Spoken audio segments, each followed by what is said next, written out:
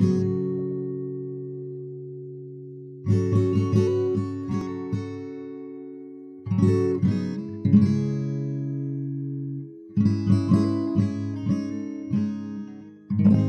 I've been sharing interesting articles that I find on the Patreon page for this podcast. Articles that catch my attention and keep me thinking for a very long time after I read them. And one article of this kind that I posted just the other day revolved around the burgeoning solar panel industry in the United States, particularly rooftop solar, which is different in many respects from the commercial scale solar installations that can take up acres of land and other solar based installations that don't even use solar panels, but instead rely on things like mirrors to focus sunlight on a central tower where water is heated and then steam is produced to create energy, much like some of the older fashioned styles of power plants using other types of heating power. But rooftop solar has been growing incredibly quickly and has, in fact, defied most expert opinions almost every year for about a decade, growing faster than even their most optimistic projections.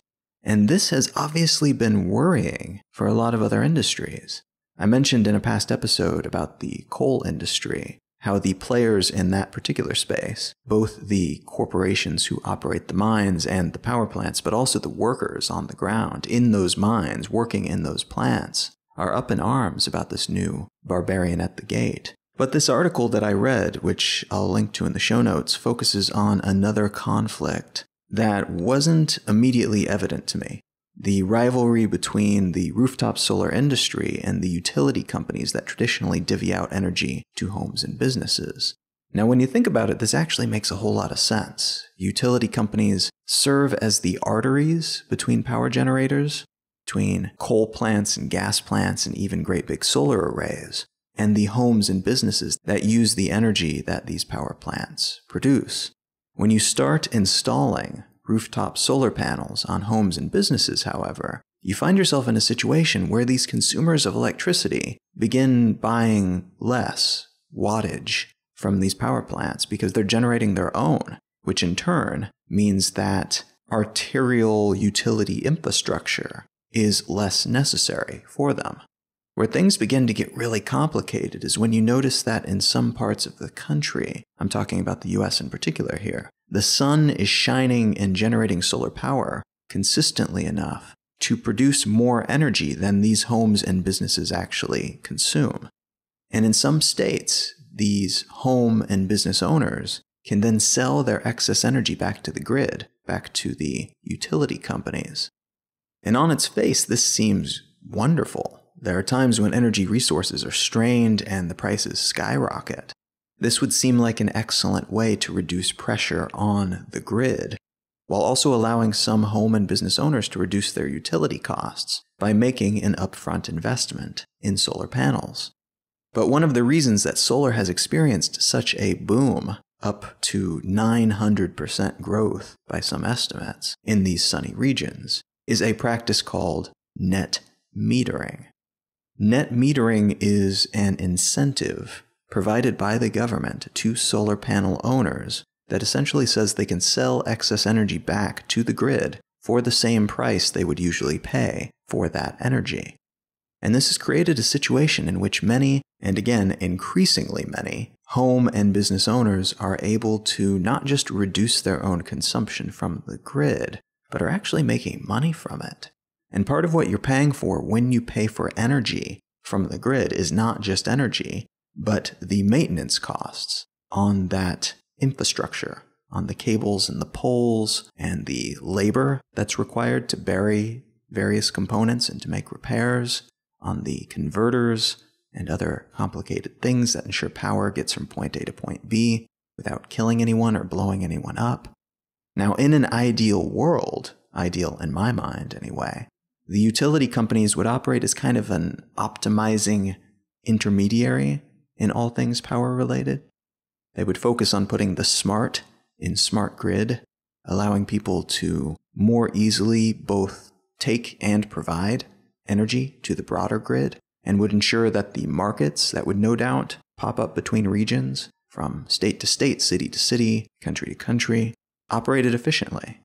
When we have a lot of power coming from a lot of different sources, very much including power plants, but also individual homes and all the businesses that are beginning to cover their vast swaths of warehouses with solar panels, and all the way down to the scale of the individuals who have smaller wind turbines hooked up outside their RVs, then the entire system is more resilient. It's more capable of surviving a catastrophe. And like any ecosystem, that diversity of production methods ensures the grid is healthier and less easily successfully attacked or crippled by natural forces.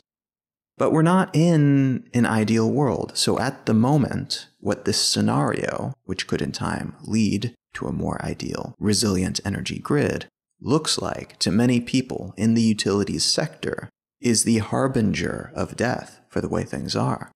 They are accustomed to running an organization that's in charge of all the pieces of the puzzle and which is partially funded by the cost of energy paid by consumers. They do not have an operational model for what happens when a significant portion of their customer base and income disappears.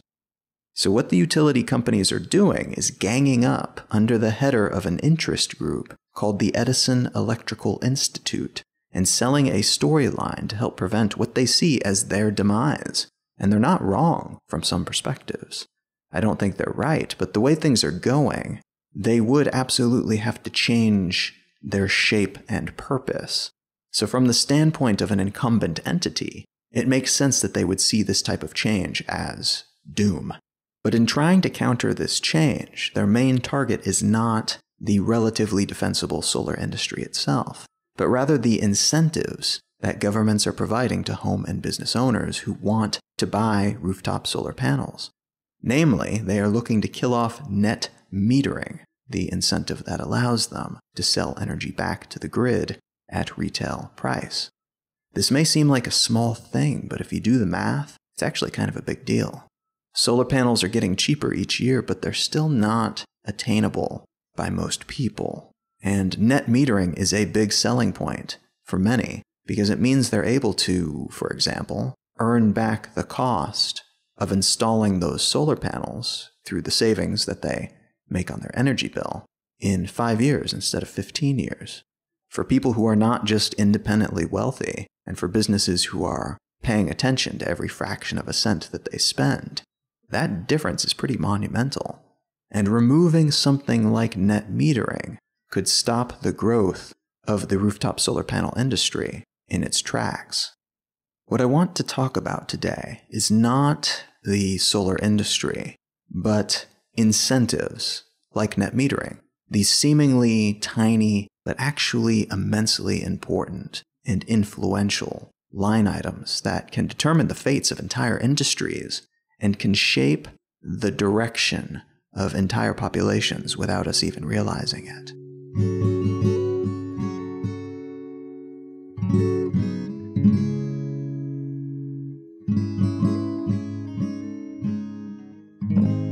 You are listening to Let's Know Things. I'm Colin Wright. I'm fortunate to have a couple different sponsors for each episode, which is really wonderful. It gives me a way to get paid for the work that I do for this podcast. But long term, I would love to make it a completely listener supported show. For something like that to work, it means that there has to be a contribution model that is well populated enough that I can continue to do it, to make the time to produce this show consistently while also being able to pay the rent. Now, I've used a couple different models for this since I started it a little over a year ago. I still do take contributions through Venmo and through PayPal and a few other options like that. You can find all of those options at letsknowthings.com if you click on the contribute page. But I've also recently started up a Patreon page, which seems like a really good way to create a consistent amount of revenue coming in each month for this show. And I had somebody recently comment over there that they're not super concerned about the bonuses that are offered over there. You do, if you contribute, get an ad free version of the show, and you get a few other bonuses depending on which level you sign up for. But they said that they weren't particularly interested in that so much as being able to, one, contribute to a podcast that they enjoy, and two, being able to discuss the various episodes and other articles and such that I post over there with other people who are interested in such things. And so rather than having any other sponsor messages today, I'm just going to say if you are interested in one, helping to support the show and its continued existence and potentially expansion, but two, you also want to discuss the topics that you hear about here. If you want to get into that on a much deeper level with a bunch of people who are interested in doing the same, consider popping by patreon.com slash let's know things. And if you sign up, you'll find that it's really easy to set up a consistent monthly contribution of however much you like. There are some set tiers there that tell you the different benefits that you get, but you can do as much or as little as you like. But any amount that you contribute gives you access to all of the discussions that are happening over on that website. And we do discuss every individual episode, and I post articles each week as well for additional discussion. So if that sounds at all interesting to you, please do stop by patreon.com slash let's know things. A huge thank you to everyone who has already helped support the show in any way, shape, or form, whether that means leaving a review, telling your friends about it, posting about it on social media, contributing monetarily in some way. That means a whole lot to me, so thank you very much. All right, let's get back to the show.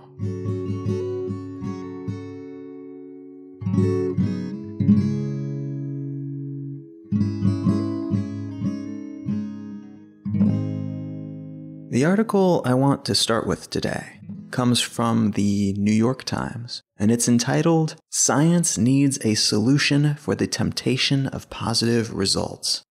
This article addresses an issue that's been rearing its head in many fields of science over the past several years that of non replicable experimental results.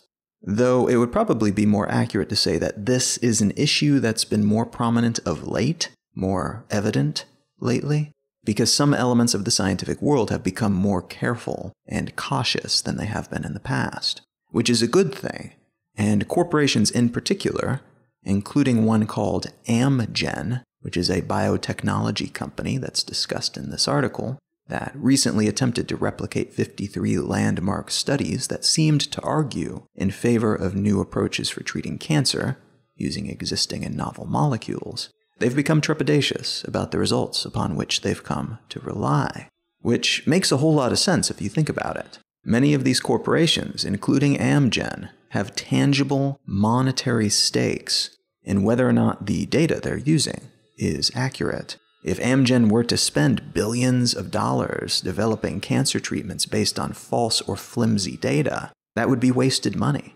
And as it turned out, their efforts to replicate those 53 studies resulted in an 11% success rate, which is to say that they tried to replicate the studies to see if they would get the same results as the original researchers, and they only did so 11% of the time, which is not good. Reproducibility is a key principle of the scientific process. It's what helps us sort interesting anecdote from scientific reality. It may be that a clear headed scientist notices something interesting in a lab and has tons of equipment measuring what's happening, and there's recorded video evidence, and there are just gobs of indications that something remarkable is happening. But then in the aftermath, no one else is ever able to replicate that result, that same event. And that's important because no matter how true something seems to be to one individual or one group of people, if we cannot replicate it, that tells us something, right? It tells us that we don't understand what's happening or what happened the way that we thought we did. We reproduce research because if we don't, anyone could just say something like, I prayed for rain and it happened. And we might come to think that that's how the world works, that rain or whatever else just arrives on request. And this is actually how we came to see and understand the world for much of human history. These yarns were sometimes called old wives' tales because they were spread from generation to generation, from village to village, by rumor. This is why we thought that spitting on wounds would heal them, and why we thought that bloodletting was a good cure for just about any ailment, and why we believed that gods brought the rain. It wasn't that these people were stupid or had any ill intent, they were just ignorant about the forces that they were trying to figure out. And when we're exposed to something new, we see it through the lens of our existing worldview. So if we believe that gods control the elements, of course we're going to assume that they are the force behind the rain. It's unlikely that, lacking knowledge of modern climate science, someone in the Bronze Age would spontaneously come up with things like evaporation and low pressure systems and the like to explain why the fields are flooding this year. Reproduction of research is part of what separates science from anecdote, and is part of how anecdote can, in some cases, become science. Anecdote means that you or someone else observed something. That's it. Science is what happens when we test that observation to figure out if what we thought happened actually happened, and to suss out the mechanism behind what happened. So if you noticed that rain occurred when you prayed for it, and it always seemed to work that way for you, reproducing that observation might lead us to discover that you always happened to pray for rain right as the local air was reaching the breaking point of its relative humidity, and right as it was becoming saturated enough to form rain clouds. The right time of day, the right weather patterns, the right circumstances for rain. This could in turn teach us things about evaporation and the water cycle, and moisture being swept upward due to convection, and numerous other things that we didn't know before. Anecdote approached from the right angle, with the right attitude and intentions, can lead to new discoveries. On the other hand, we could also attempt to replicate this act and find that it is pure hokum. Cognitive biases often come into play when we feel that we're noticing patterns, and it may be that you remembered the instances when your prayer seemed to result in rain, but immediately forgot the times when it didn't work. There's nothing remarkable about that, so you simply discarded it as useless data. It wasn't worth mentioning or remembering. It was a non event. Lacking the rigor of the scientific process, anecdote often falls prey to things like this, to flawed memories, to biases, to a reshaping of events to fit our prejudices, and numerous other factors that science helps us weed out. Such observations can lead to good science, but anecdote alone, simply noticing something, experiencing something, is not enough. It is too susceptible to human error. So, anecdotal observation is not useless, but it is not the final step in the process either. If you ever find yourself believing that your personal experience trumps legit research and data collecting, Remember that it's not an insult to you or your memory or your intelligence to assume that you may be mistaken for a multitude of reasons. To err in this way is very, very human. Now, that said, even after we've taken a look at these observations and run them through a real deal scientific study, complete with controls and independent and dependent variables, and as many safeguards against outside contamination as possible, those studies are still suspect they're still liable to change. In some cases, this is because the people doing the studies might have their own agendas, but far more likely is the possibility that not all outside variables were accounted for, and some unmeasured variance may have worked its way into the results. Good scientists can control for a lot of things, but they are not infallible. If we're testing a drug, and a study seems to show that this drug cures cancer, that's good reason to be excited about the drug's potential. But more studies must be conducted beyond that single study, because there's a chance that something else could have been responsible for the positive results other than just the drug. Maybe some of the test subjects were genetically predisposed to be resistant to that particular type of cancer. Maybe the diets of the test subjects were inconsistent, and it was actually something that they were eating that accounted for the differences. Maybe the subject's environments, where they lived, who they lived with, the work that they did, their lifestyles or workout routines or other drugs they were taking could have influenced the results.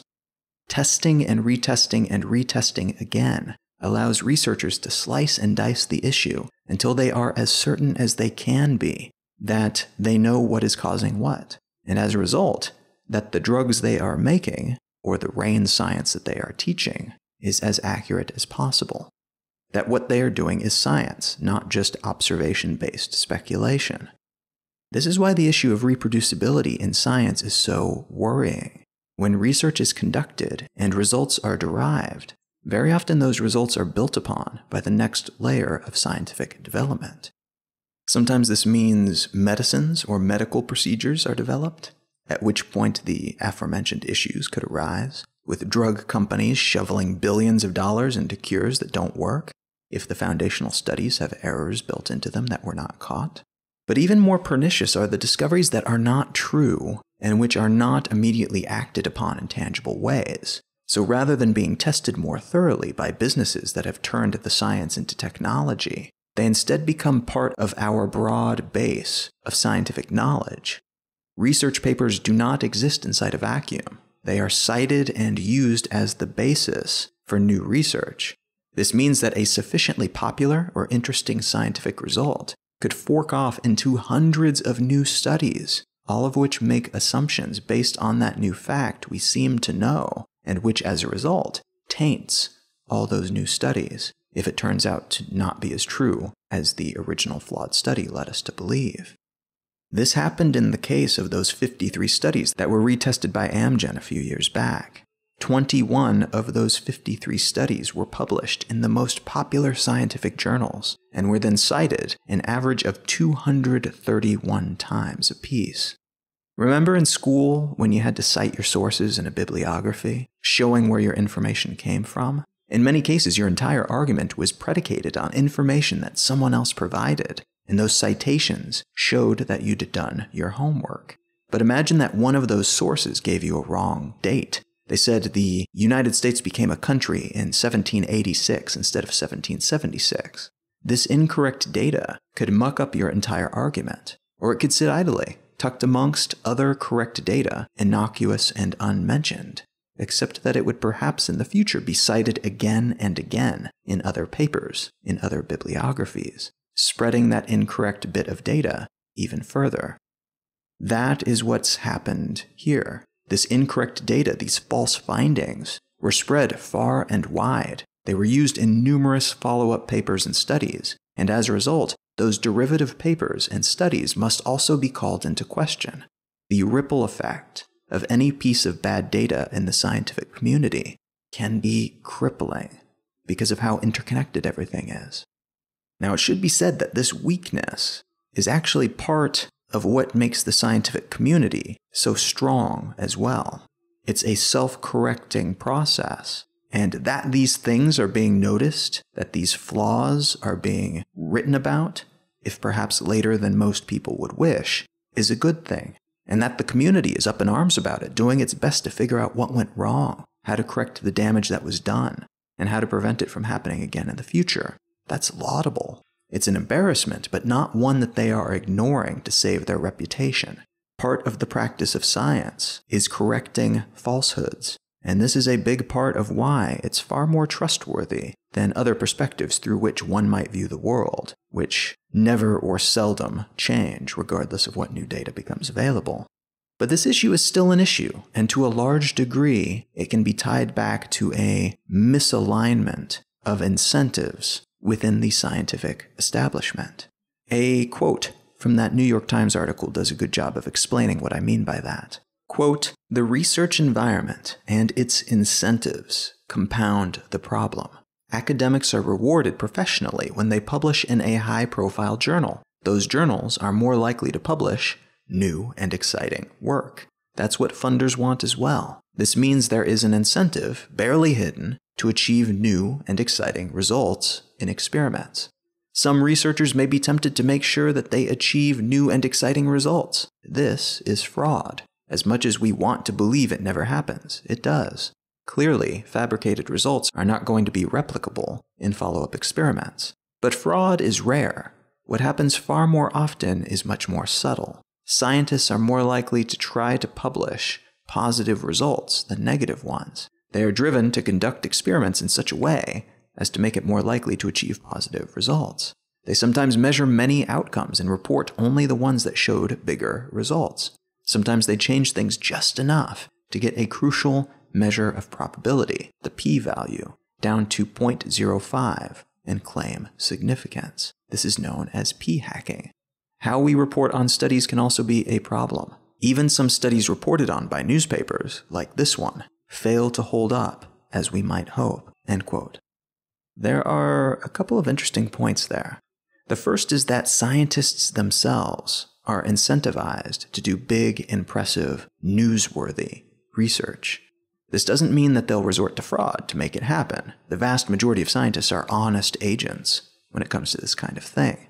But might some be tempted to frame their research in what could be construed as dishonest ways?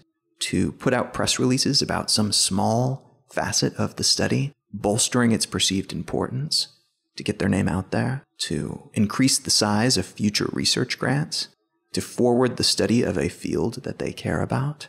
Maybe. It certainly happens. And the shape of the scientific publication world and its relationship with the press, because these journals also want to outshine their competitors by publishing the most sensational work, that doesn't help. The other point is that the press itself plays a huge role in the inflating of some research and the deflating of other, less headline worthy discoveries. Another quote from that article quote, This year, a study looked at how newspapers reported on research that associated a risk factor with a disease, both lifestyle risks and biological risks. For initial studies, newspapers didn't report on any null findings, meaning those that had results without expected outcomes. They rarely reported null findings even when they were confirmed in subsequent work. Fewer than half of these significant findings reported on by newspapers were later backed by other studies and meta analyses. Most concerning, while 234 articles reported on initial studies that were later shown to be questionable, only four articles followed up and covered the refutations. Often, the refutations are published in lower profile journals, so it's possible that reporters are less likely to know about them. Journal editors may be as complicit as newspaper editors. At multiple levels, then, there are incentives to produce results that dazzle, publish those results to amplify the reputation of a scientific journal, and then report on the articles in those journals to a public that, in many cases, lacks the proper scientific background to understand and put it all into correct context. So we, on the receiving end of all of this, see only a small, generally positive selection of research data, and we also receive that small sliver of data in ways that amplify the surprising, disconcerting, or unusual, rather than that which supports existing frameworks and knowledge or shows the flaws in past research that was sensationally published.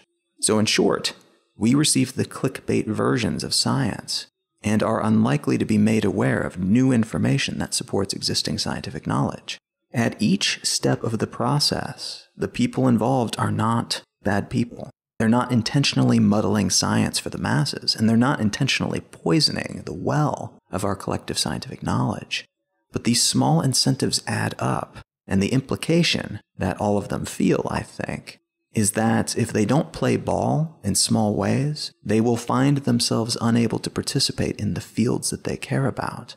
They'll be unable to conduct research that they believe is important. They'll be unable to publish work that the scientific world needs to see. They'll be unable to educate the public, little by little, as to what's happening in the labs and research facilities around the world. Each of these entities are doing what makes sense to them, and that sense is shaped by incentives. So, what is an incentive? The definition is actually somewhat dependent on what field we're talking about. But at its most basic level, an incentive is just a motivating factor to get someone to do something. A parent who threatens to punish their child if that child continues to draw on their bedroom wall is leveraging an incentive to adjust the behavior of their artistic but destructive child. Don't do that, and you will not be punished. This could be said to be a type of coercive incentive, an incentive that's backed by the threat of force if the thing that you're trying to motivate someone to do is not done. Military intimidation between countries falls into this same category, as does a bouncer at a bar who simply by being present incentivizes customers to behave themselves.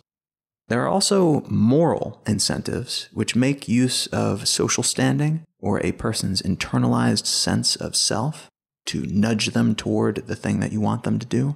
Moral incentives are used by religious organizations to encourage certain behaviors in their flock. There's generally no threat of violence if you fail to say your weekly allotment of Hail Marys, but you still feel the necessity to do so nonetheless. They're also used by governments to keep their people behaving the way a quote unquote good American or quote unquote patriotic Frenchman should act. And yes, this type of incentive is even sometimes used by parents who might convince their children to behave in a certain way by implying that if they do not, they will be bad. A softer form of incentive is sometimes called a natural incentive or intrinsic motivation. This is usually a more internal process, the result of curiosity or acting on an emotion. You might feel incentivized to get revenge, for instance, because you feel that it would be satisfying. Or you might feel compelled to climb over that mountain to see what's on the other side, despite all the risks associated with such an act. The scope of this type of incentive is quite broad, but it's also the motivating factor, at least in part, of a huge percentage of what we do each day, even if we might rationally justify them otherwise later. Then finally, there are financial incentives, sometimes called remunerative incentives. While natural incentives might shape many of our habits internally, Many of the forces that determine how we act as part of a society are determined by material reward, compensation of some kind, monetary or otherwise, for walking a particular path. It's this type of incentive that led to the development of economic incentive systems, which are, in essence, governments. Looked at in a certain way, every single government that has ever existed is just a collection of different incentives set up to cause people to behave in certain ways, judged to be the proper ways by those who set up these structures. This is what managers within corporations do too. They set and adjust incentives for the employees under their jurisdiction to try to get the optimal output based on the incentives that they, themselves, feel as part of a larger scale incentive system that guides the behavior of managers. Follow this path all the way up the totem pole, and eventually we reach the interconnected network of societies that makes up the planet, all intertwined and doing their best to provide incentives to other societies to get them to do things that are beneficial for their own interests. At the international level, these incentives could take the shape of trade deals or tariff reductions on car parts. At the national level, it could be a decrease in taxes for certain industries or a threatened increase in oversight within others. At the corporate level, incentives could look like raises or promotions or firings or performance reviews or honorary titles. At the familial and personal network level, it could mean cold shouldering someone, or hanging out with one person more than another, or denying your partner affection when they do certain things or rewarding your child with ice cream when they clean their room. At the individual level, incentives can feel like rage or curiosity or the intense desire to meet some new people because your loneliness is getting out of hand. Incentives are not a human invention. In biological terms, we are incentivized to do certain things, to behave in certain ways, by floods of chemicals, by the way certain acts make us feel. I think most of us understand intellectually that having kids is important to the propagation of the human species, but without biological incentives, the collection of love related feelings, of hormones, of the pleasure of sex, the satisfaction of passing on our genetic heritage, the millions of gratifying moments found in raising a child, it's unlikely that as many people would put up with the countless downsides of child rearing without all those incentives. Having a kid is great. Many people will tell you that, but they feel that way because the incentives in having kids tend to outweigh those downsides. In this way, the creatures who are the most biologically incentivized to do things like reproduce and survive, and in the case of humans, to innovate and invent, those are the ones that are most likely to rise to the top of the ecological pyramid. But as we've evolved, we've also made incentives a key component to how human civilization operates. Rather than relying on how we feel biologically to guide our actions, we've put into place incentives to, for instance, produce enough crops to feed everyone. In the modern era, incentives are more likely to orientate around things like participating in a consumption fueled capitalistic system, or in some parts of the world, in some levels of many bureaucratic hierarchies, to take what you can grab and to have as few scruples as possible. When you look out into the world and see people doing things that you perceive to be wrong, these acts can almost always be explained by the incentives they are operating under. People who do horrible things for money, the bankers who have collapsed entire economies, depleting the life savings of millions to line their own pockets, are acting in accordance with money and power based incentives. There is good reason for them to want to be at the top of the pyramid, and they just happen to have the right kind of attitude and aptitude and sense of morality to take advantage of the many levers that society has offered them. Other people feel the same strain, the same drive to earn more money, to get more power, to become more respected and capable, but are either unable to act on these drives in the same way, or unwilling to do what needs to be done to quote unquote succeed at that level, according to the success metrics of that system. It's for this reason that you'll often hear economists in particular talking about incentives as a solution to the problems caused by our current system of incentives. If our existing selection of motivating factors are causing people to do things that are against the best interests of society, well, we should change those motivating factors. This logic is cyclical in a way because the incentives they're replacing were at one point put into place to replace older, now outdated incentives. But this logic is still potentially sound, very much like the logic of solving technological problems using more technology. Now, some would scoff and say that you can't do that. New systems, new tools, those will not solve the problems that old systems and tools have brought us. But that's not really true if you think about it. Of course, we need new systems and tools to solve those kinds of problems. What are we just going to regress, step backward and backward and backward until we have no technology or infrastructure left? That would leave us with completely different problems, problems that our forebears did everything they could to get away from. That's the kind of logic that looks great as an Instagrammable quote, but tends to fail the sniff test. And the idea that incentives cannot replace deteriorating incentives kind of works the same way. I would argue that new incentives are probably the only things that can sufficiently replace old incentives that have outlived their usefulness. But the unfortunate reality that we have to face is that any new incentives we instigate will almost certainly age badly as well.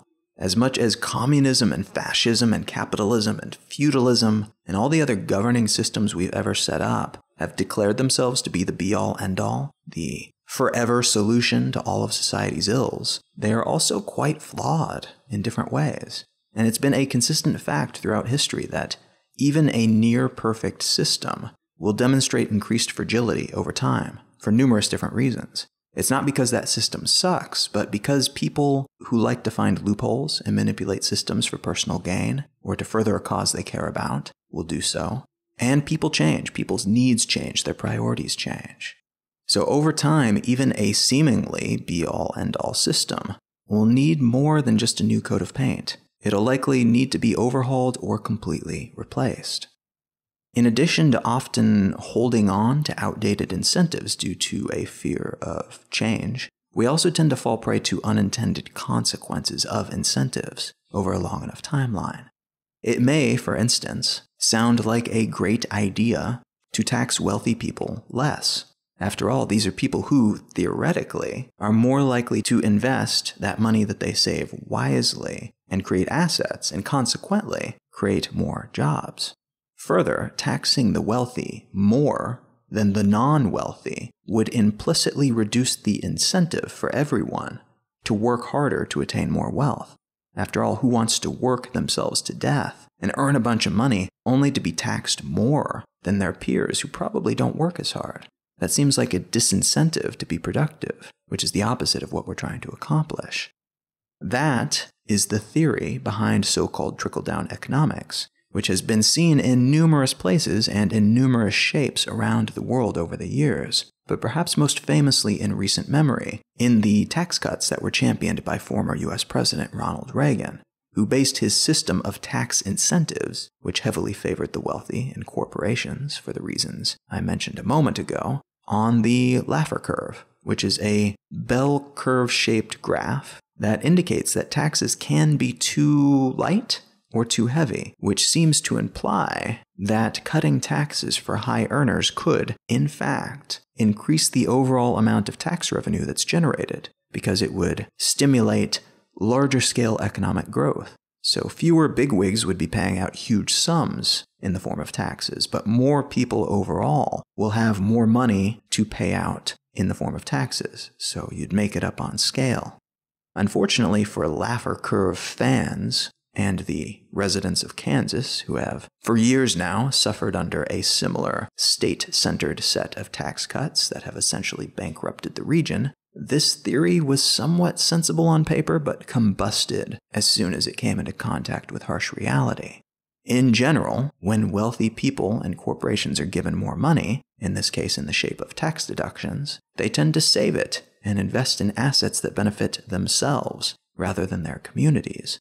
So rather than amplifying overall growth for everyone, these tax deductions instead only increased the already wide gap between the haves and the have nots. The unintended consequences of these types of tax breaks, then, have been astoundingly impactful and difficult to rein in. And in this case, there has been a secondary set of compounding consequences. When wealthy people and corporations have more resources to throw around, due to those larger tax deductions, they also have an increased capability to influence elections and legislation. It's thought by many political analysts that the so called healthcare bill that the Republican Party is currently trying to pass here in the US as I record this episode is less about healthcare and more about finding ways to slash the budget so even bigger tax breaks can be given to the wealthy and the corporations. The single mindedness with which they've pursued this goal has been astounding, and it indicates that a taste of those deductions has spurred a craving for more of them. And those who benefit most are those who are best positioned to make that happen within our current political system.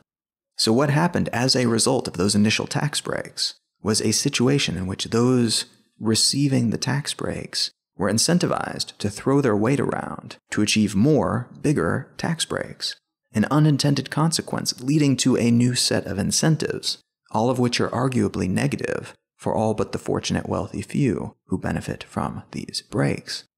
Again, here we have a situation in which well intentioned incentives were put into place in an attempt to spur a positive outcome for everyone but the unintended consequences of these incentives proved to be somewhat cataclysmic for certain elements of society, and it could be argued, some aspects of our political and economic system. I don't think any of these people who are angling for even greater tax cuts are evil or are intentionally trying to break the system. They're just acting in a way that seems rational to them, believing the world would be a better place if they and people just like them have more control and more resources allowing them to reshape the world according to their standards.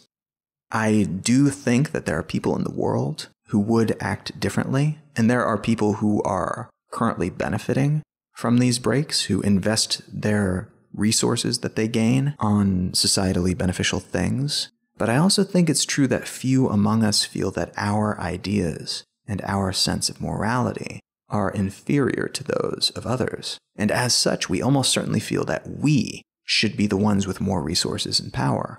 Think of this situation from that perspective of how you might throw your weight around given the opportunity. And I think it makes this situation, but also the broader conversation about the power of incentives, a lot more comprehensible.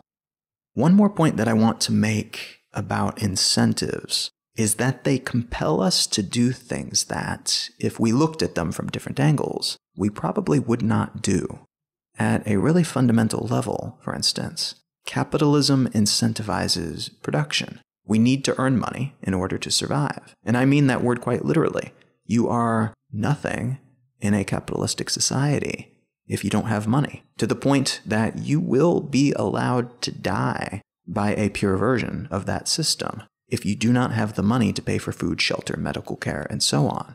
That's the brutal reality of a system that, although much better than most other systems out there, I would argue is still super flawed. It's great at incentivizing us to make, because if we don't, we are dead. And if we do, we stand a chance of being able to do more of what we want more of the time. It also encourages us to pursue a particular brand of happiness and fulfillment that we are sold on in numerous different ways throughout our entire lives.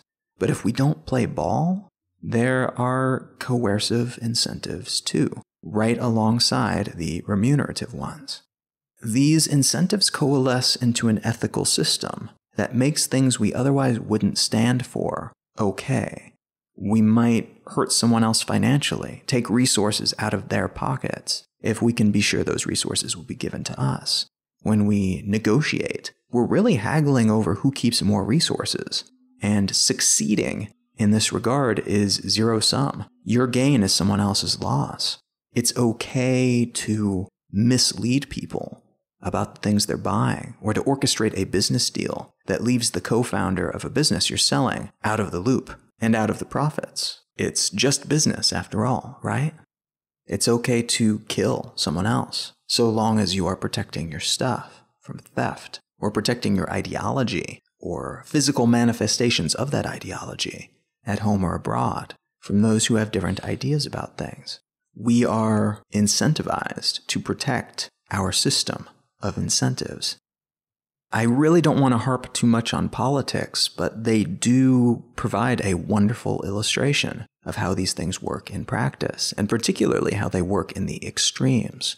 If you want to see the Olympic athletes of incentive chasing, look at Congress, look at your governor, look at the president. Paul Krugman, who's a professor of economics and a columnist for the New York Times, tweeted about the aforementioned Republican healthcare bill the other day. And in those tweets, he said, quote, The thing I keep returning to on the Senate bill is the contrast between the intense hardship it imposes and the triviality of the gains. Losing health insurance, especially if you're older, low income, and unhealthy, which are precisely the people hit, is a nightmare, and more than 20 million would face that nightmare. Meanwhile, the top 1% gets a tax cut. That cut is a lot of money, but because the 1% are already rich, it raises their after tax income only 2%. Hardly life changing. So vast suffering imposed to hand the rich a favor they'll barely even notice. How do we make sense of this, politically or morally? I spoke a little about taxes, and in particular, dodging taxes using loopholes in an earlier episode. And my conclusion was that, in essence, if the loopholes are there and you are a rational person, why would you not avoid paying them? To many people, if the choice is between having a group of bureaucrats spend your money on missiles and $3,000 toilet seats for some politician's private bathroom, or you spending that money on whatever you like, well, of course you'd choose the latter. That same concept extends here, though in a slightly different way. The entire point of this healthcare bill, which some are calling a wealth care bill, because not a single healthcare entity believes it will be any good for anyone, health wise, seems to be to give those tax cuts to wealthy people. That's the entire point of this bill. It's predicated on the idea that these politicians can do this. They can pass such a bill for good reasons or no reason at all. So why wouldn't they? And the sad fact of the matter is that that's kind of true. These people are in a position of power, and that power allows them to do this. So if they're able to pass a healthcare bill that seems to do very little except to take away healthcare from tens of millions of people, and in exchange it will give a small but significant tax cut to the wealthiest members of society, which includes them and their friends. Well, why wouldn't they do that? If we remove things like subjective moral values from the equation, or put into better context for this conversation, if we remove the coercive social incentives provided by things like reputation or shame, lacking those bulwarks against corruption, the political system of which these people are a part seems to be incentivizing them to do things just like this, to pass exactly this type of bill. Now, traditionally, things like pork barrel add ons to bills, meaning the brazen handouts that politicians would add to the bills that they are presenting in order to get other politicians to support it, are what have incentivized collaboration and cooperation between parties and interests. And as a result, the embarrassing line item earmark of a few million dollars to repair roads in Rhode Island, added on to a bill intended to provide funding for science education for the underprivileged in Kentucky, was kind of a necessary evil. It was the grease that kept the system moving and the dollars going mostly where they needed to go. It's not something you wanted anyone to notice on your hands, and it's not something you wanted people talking about, but it was somewhat required to keep the machine operating smoothly. Today, the system has become more about the grease and less about the machine that it's supposed to keep in good repair. A healthcare bill has become more about the pork than the healthcare, and the incentives that previously kept something like this from happening, namely the fear that the public would become aware of where the money is going and who it's benefiting and who it's victimizing in the trade off, they've largely disappeared. And there are a lot of possible reasons for this some of which revolve around the current state of politics and the next levelness of our current president's disdain for business as usual. When the leader of our country has no shame, meaning he cannot be shamed, cannot be kept in line by coercive social norms and the disapproval of his countrymen, then one of the main levers in the system, one of the main incentives for politicians to at least mostly walk a straight line, to do things that generally align with the interests of the nation as a whole, rather than just themselves, it kind of disappears. Or said another way, why wouldn't Republicans try to grab whatever they can for themselves and for their friends when the incentive not to do so is no longer compelling for them? I really don't want to make it seem like it's only Republicans who are doing this kind of thing, but a lot of the biggest, most prominent examples right now are unfortunately coming from their camp. Part of that might be is that they do hold the majority of the power right now. And if Democrats end up taking back a great deal of power in 2018, we may see that dynamic flipping. And I'll be talking more shit about them. But as it is, this is the situation. And unfortunately, the Republicans are teaching the United States a masterclass on what it looks like when traditional incentives no longer keep people walking the intended path. Our current slate of political systems is just one example of incentives that generally work until we figure out a way to game them.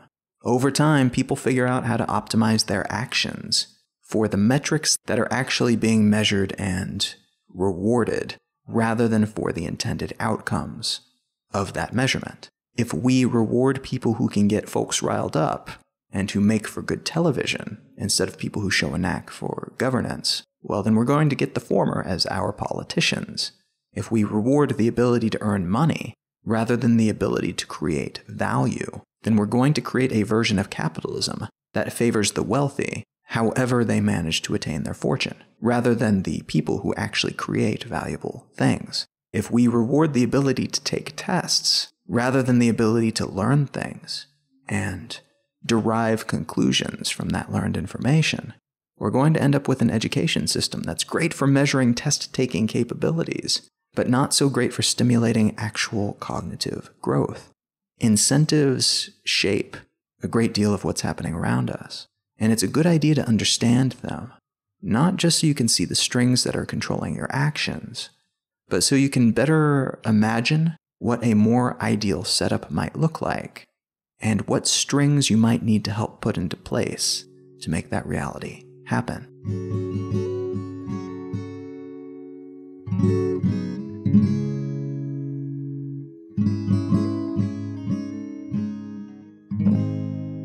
So, as I mentioned in the intro, I'm not going to do any other sponsored messages today. I'm just going to focus on direct contribution, and the easiest way to do that is to go to the Patreon for this podcast. And that's at patreon.com slash let's know things.